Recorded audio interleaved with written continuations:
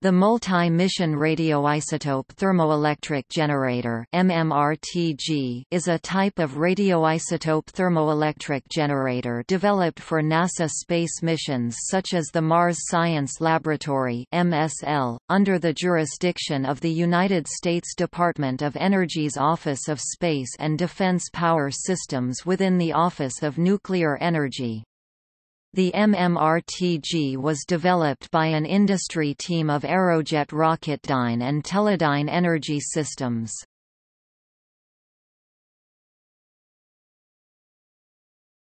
Topic: Background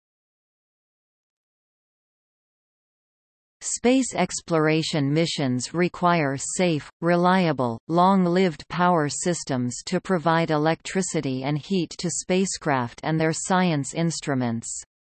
A uniquely capable source of power is the radioisotope thermoelectric generator (RTG), essentially a nuclear battery that reliably converts heat into electricity.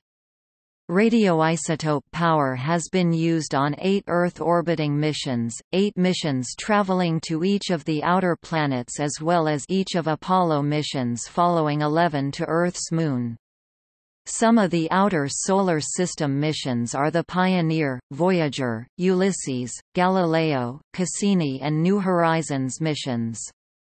The RTGs on Voyager 1 and Voyager 2 have been operating since 1977.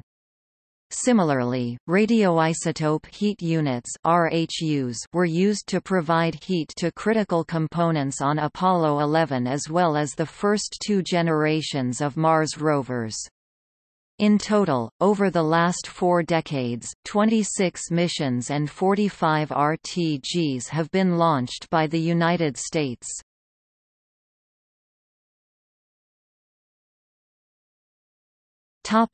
Function RTGs convert the heat from the natural decay of a radioisotope into electricity.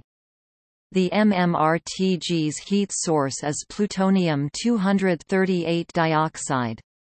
Solid-state thermoelectric couples convert the heat to electricity. Unlike solar arrays, the RTGs are not dependent upon the Sun, so they can be used for deep space missions.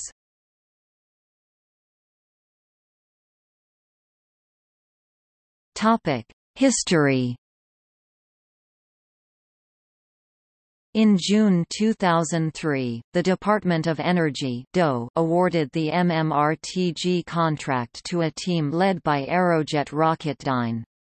Aerojet Rocketdyne and Teledyne Energy Systems collaborated on an MMRTG design concept based on a previous thermoelectric converter design, SNAP-19, developed by Teledyne for previous space exploration missions.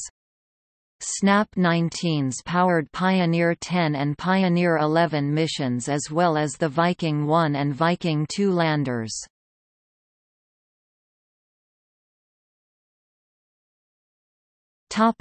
Design and specifications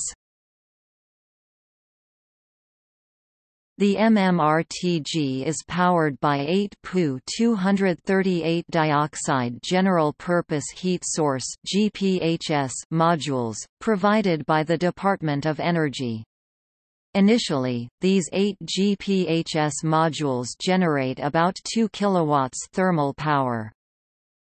The MMRTG design incorporates lead-2 telluride, tags thermoelectric couples from Teledyne Energy Systems, where the tags material is a material incorporating tellurium Te, silver germanium and antimony Sb.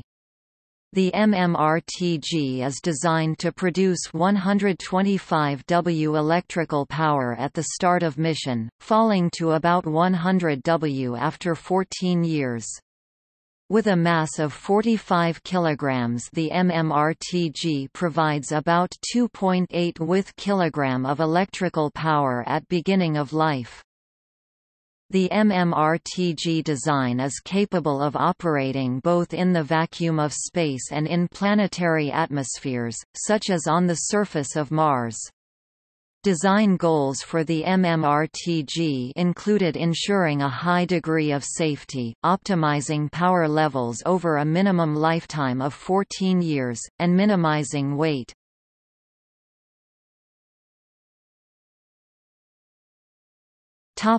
Usage in space missions Curiosity, the MSL rover that was successfully landed in Gale crater on August 6, 2012, uses one MMRTG to supply heat and electricity for its components and science instruments.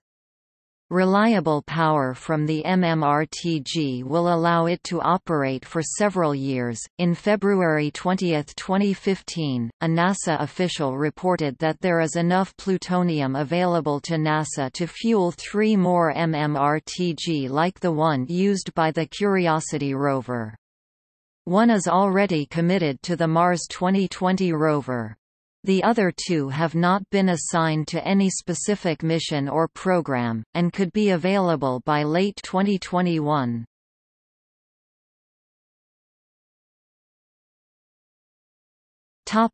See also Advanced Stirling radioisotope generator Radioisotope thermoelectric generator RTG Nuclear power in space